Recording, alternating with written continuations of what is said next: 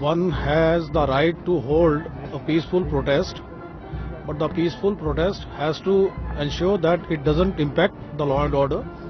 In fact, I must tell you, there is a ruling by the Honorable Supreme Court of India which binds everybody who is thinking of organizing any program, protest program in Delhi to seek permission of the concerned DCP.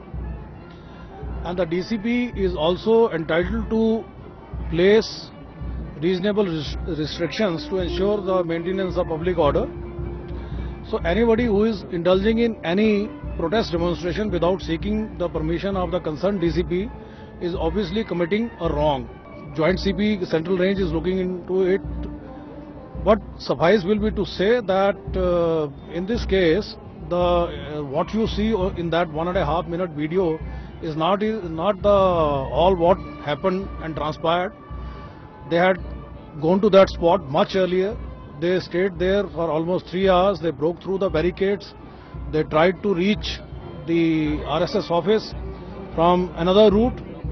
And uh, my officers who were on the spot, they have claimed that uh, the whatever action was taken, it was a legitimate action